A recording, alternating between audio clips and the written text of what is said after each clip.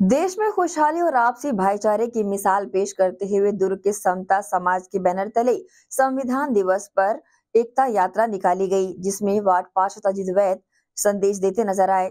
संविधान दिवस के चौहत्तरवें वर्ष के अवसर पर एकतामय और सब में समता रहे का संदेश लेकर दुर्ग के वार्ड पार्षद अजीत वैद के नेतृत्व में एक विशाल शोभा यात्रा निकाली गई। शोभा यात्रा में हिंदू, मुस्लिम, सिख, ईसाई आपस में है। भाई भाईचारा का उद्देश्य लिए भीमराव अंबेडकर के बनाए सिद्धांतों को घर घर तक पहुँचाने का संदेश दिया। इस मौके पर निकाली गई यात्रा जगह जगह सभी लोगों के बीच संविधान की शपथ दिलाती नज़र आई। इस दौरान इस यात्रा में समाज के लोग बड़ी संख्या में शामिल होकर बाबा साहेब के बनाए संविधान को याद कर देश और दुनिया में खुशहाली की कामना की। इस अवसर पर पार्षद अजित वैद ने अपनी प्रतिक्रिया दी।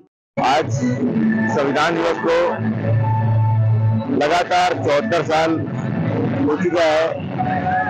हमारे देश की इतनी गरिमामयी संविधान रूपी मंत्र डॉक्टर भीमराव अंबेडकर जी ने हमें भरोसा है, अपने दिन और रात के संघर्ष से आज हम सभी को अपने संघर्षशील इतने इतने बड़े संविधान को हम सभी भारतवासियों को भरोसा है।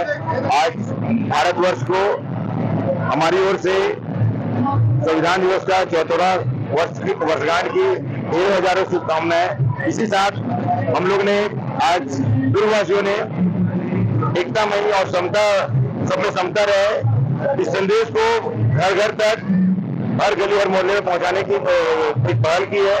आज हिंदू, मुस्लिम, सिख, ईसाई सभी के साथ में एक विशाल रैली निकाला है और पुनः आप सभी देशवासियों को संविधान दिवस का चौहत्तरवा वर्षगांठ की ढेरों हज़ारों शुभकामनाएँ। ब्रांड एसीएन न्यूज़ के लिए दुर्ग से नसीम फारूकी की रिपोर्ट।